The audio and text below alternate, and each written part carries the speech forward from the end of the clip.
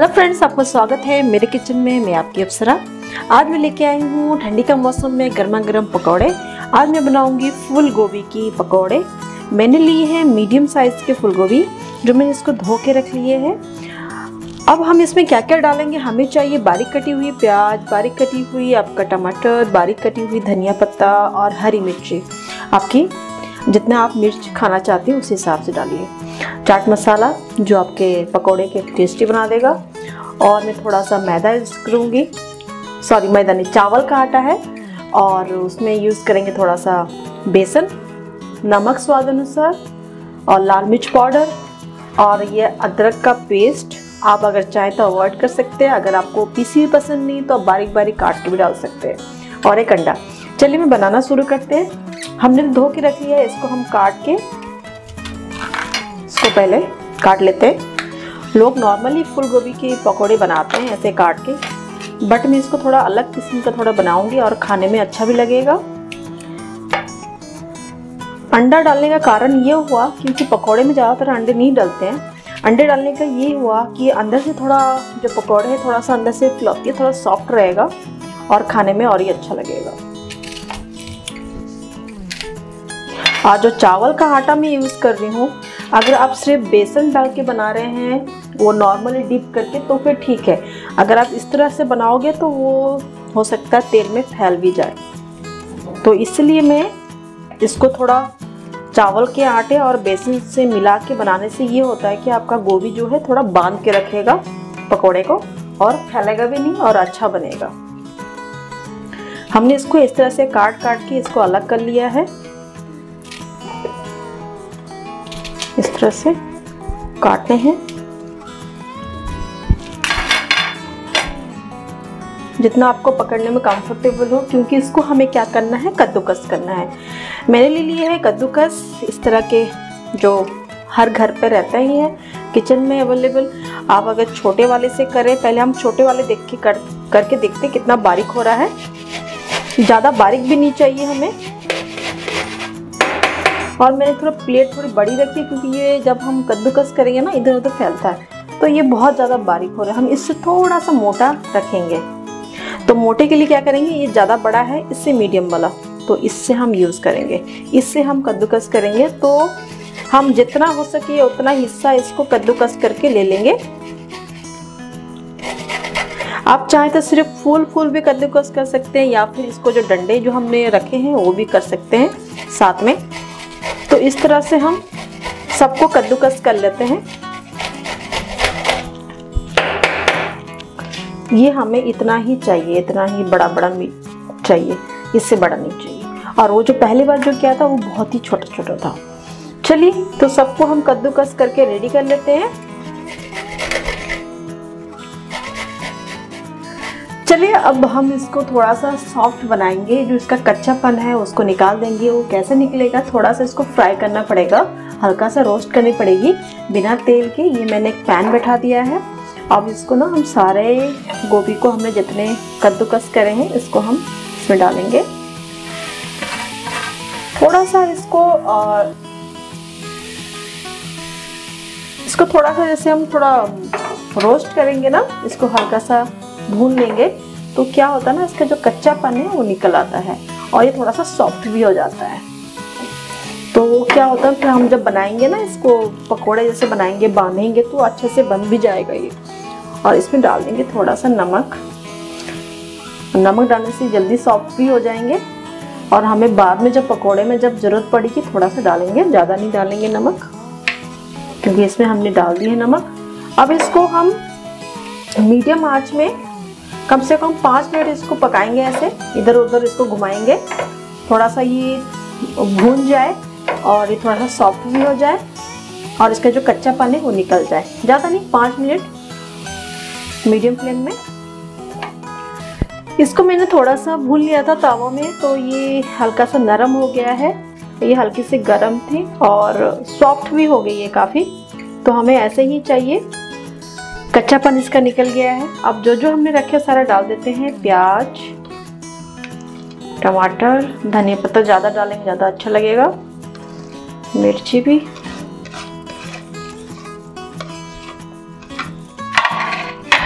चाट मसाला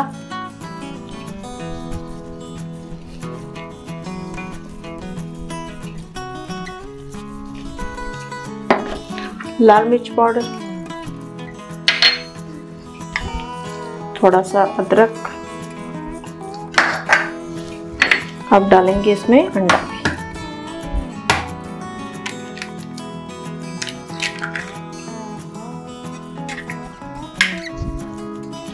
थोड़ा सा नमक डालेंगे, क्योंकि ऑलरेडी नमक हमने डाले हैं। अभी टमाटर, प्याज हमने मिक्स किया है तो थोड़ा सा नमक का कम हो सकता है।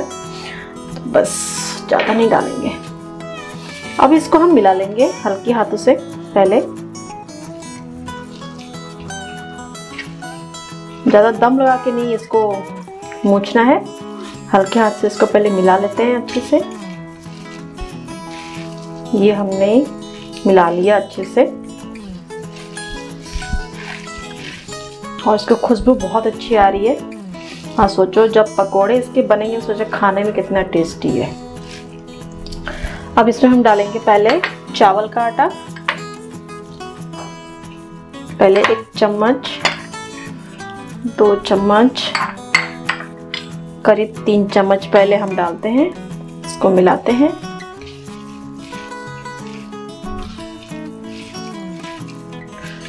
चावल का आटा पता है आपको थोड़ा सा क्रिस्पी भी देता है।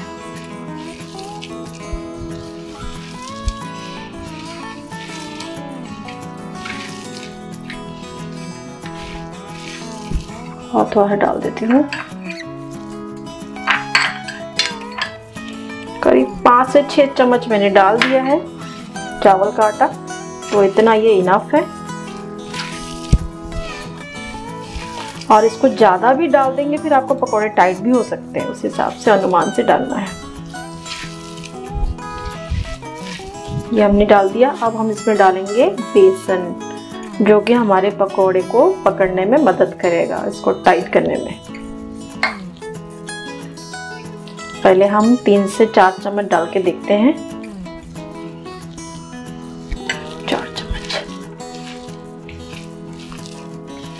अब इसको अच्छे से मिलाते हैं। अब इसको मिलाते मिलाते ना ये एक लसा लसा सा पन आ जाएगा।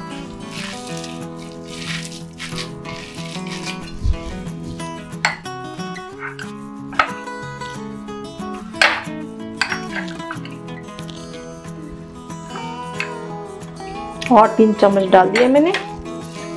बस, अब नहीं डालेंगे, अब इसको अच्छे से मिला लेते हैं।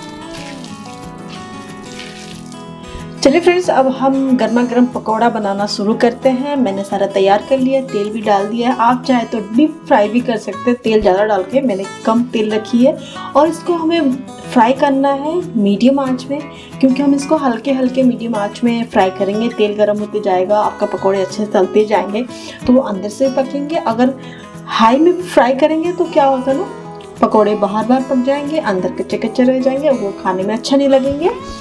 तो मैंने पकोड़े को बनाने से पहले हाथ में थोड़ा सा मैंने तेल ले लिया है। तो हम थोड़ा थोड़ा सा लेंगे। अब इसका छोटे छोटे बॉल बनाएँगे। आप चाहें तो छोटे या बड़े, आपके हिसाब से आप बना सकते हो। पूरा मिलाने के बाद इस तरह से बॉल बन के तैयार होना चाहिए हाथ में। वो तो आपको पता चल जाएगा, अगर उसमें पानी रह गया हो या कुछ हो गया हो या फिर अच्छे से बनानी तो फैल जाएगा।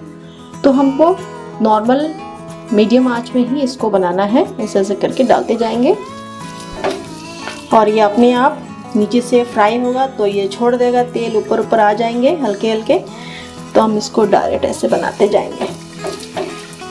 और और एक बात, मेरी वीडियो थोड़ी सी लंबी होती है क्योंकि मैं बिल्कुल भी नहीं काटती हूँ ताकि आपको अच्छी तरह से पता चले कि मैं कैसे बना रही हूँ और आपको बनाने में ईजी रहे।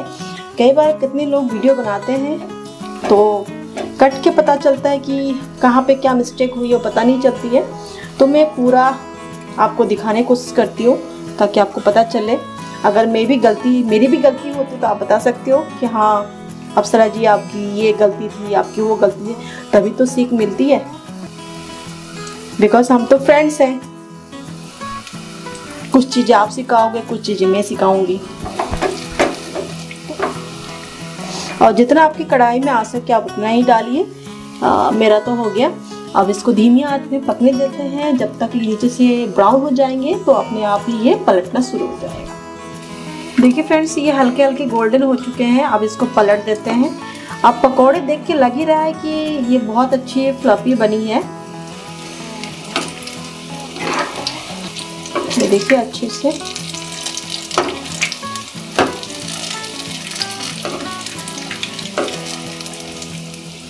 और एक तरफ़ से इसका कलर बहुत अच्छी चेंज हो गई है। अब ये धीरे धीरे इसका अच्छे से फ्राई हो जाएँगे। ये देखिए, कितना अच्छा लग रहा है। देखने में मैंने आँच को बिल्कुल मीडियम ही रखा है। तो फ्रेंड्स, अब इस तरह से धीमी आँच में सारे गोभी पकौड़े हैं जो तल के तैयार कर लेंगे। देखिए फ्रेंड्स, मेरा गर्मा गर्म गोभी का पकौड़े बनके तैयार हो गया और ये बहुत सॉफ्ट बनी है। ये देखिए, काफ़ी सॉफ्ट और क्रिस्पी भी है और बहुत ही टेस्टी मैंने अभी भी खाया तो बहुत टेस्टी थी। आधी तो मैंने खा ही चुकी हूँ। बनाते बनाते बहुत अच्छी बनी है। इसके साथ आप ग्रीन चटनी के साथ या फिर टमाटो केचप के साथ भी आप ले सकते हैं। और इसको ऐसे ही रख के आप सब्ज़ी भी कोफ्ते बना के खा सकते हैं। दो तरीके हैं, आसान है। तो मैं उम्मीद करूँगी आज की वीडियो आपको पसंद आई होगी। तो ज़रूर मेरे चैनल को सब्सक्राइब कीजिएगा, लाइक कीजिएगा और कमेंट और शेयर करना ना भूलिएगा। अगर आप फेसबुक में देख रहे हैं तो मेरे फेसबुक पेज में भी आप लाइक करना ना भूलिएगा।